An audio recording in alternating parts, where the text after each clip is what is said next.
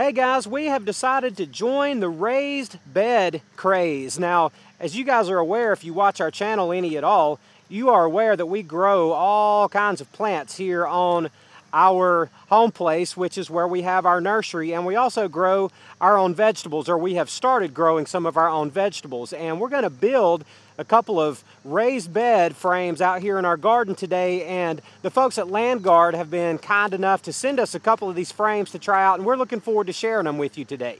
Now we got our first raised bed put together and just kind of as we were putting it together and working through the process here, a couple of things that I noticed that are worth mentioning. First of all, is that this is made out of stainless steel, galvanized, and as such, you're not ever going to have to worry about this thing breaking down and you know, falling apart on you like you would a, a raised bed made out of wood or something like that. So that is obviously a plus. You know, there's a lot of these things floating around in the world today with a lot of different colors and a lot of different looks. And if you check out Landguard's website, they've got a lot of different shapes and sizes and depths of these. So this is just one that we chose to go with. But you know, something that's really, really a good feature on these is that this thing will be good for 10, 20, 30 years, and you just don't have to worry about it falling apart and having to rebuild it. Another point worth mentioning here as is that at least this model with this galvanized reflective metal on it, you know, it's not going to get hot, like hot to the touch. So, you know, internally on a really hot day, the sun, you know, if this is a dark color or some sort of color that is absorbing heat, it's going to really heat up the soil in there on a hot day and probably get the soil in there hotter than you want it. And that's one thing uh, that I noticed about this is that it's reflective and it's bright, shiny. So, you know, this corrugated metal is, it, it's going to have not so much a cooling effect, but really an anti-overheating effect. And that's a good feature also. And when we were putting this together, my wife actually pointed this out, and it was something that I thought was worth mentioning for the good as well.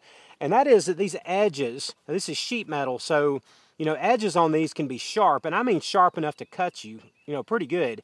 But the edges here, where you'd actually be working over, leaning over, working in your bed, you know, you can hit these and rub your hands on them, and you know, they've been folded over and smooth, and they're not sharp at all, and there's virtually no way to cut yourself on these top edges, and that is also a really good thing. Now, another thing that's worth mentioning is this particular one that I got is huge. I mean, it's four feet by eight feet by two feet deep, so it's going to take a lot of material to fill this raised bed up. And you know, one of the features here is this bracing system in the middle. And, you know, it's got these adjusters on it here and on each end. So when you're putting it together, you can get the, the distance of it put together, the width of it put together how you want it to be done. But as much material as it's going to take to fill this up, you know, it's going to be pushing outward on it quite a bit. And this bracing is going to hold everything together and keep it from flopping apart on you, or in the meantime, keep it from imploding on you. So that's really good as well. We are going to be using this bed to grow any number of things in, but one of those is vegetables and that type of thing, tomatoes, who knows what.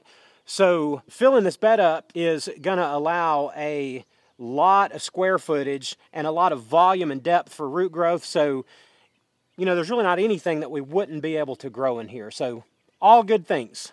Now, as far as assembling this, in the very beginning of the video, you saw the box that this started in. It was only about two inches thick, that box was. So it's a very tight, compact box. And one thing that I would say about assembling this, there's nothing hard about it at all. So if you're a person who has trouble assembling things, this is not hard at all to assemble, but you will need an extra pair of hands. So having, having two people to do the job is going to make it way easier to do. Just somebody to hold things in place while somebody puts the screws in.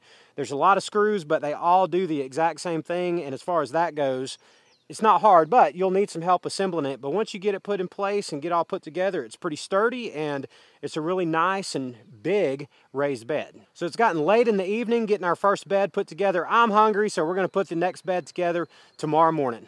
Well, all right, folks, we got both of them put together now. We put this one together in about 40 or 45 minutes. The second one, this one took a little over an hour to get it put together, but we kind of figured out what we were doing and it went really fast. You know, one of the things that I noticed is, you know, when things don't line up exactly right, there's enough give that you can get everything to line up right pretty easily. So assembly is no problem as you got as long as you've got two sets of hands to help out. All went together really, really easy. Well, all right, guys, these are raised beds by Landguard. All shapes, sizes, and colors. Make sure you check out their website. There's a link in the description below, again, with a 10% off discount code. So give them a look, check them out if you're interested in getting into raised beds yourself. I appreciate y'all watching. I'll see you on the next one.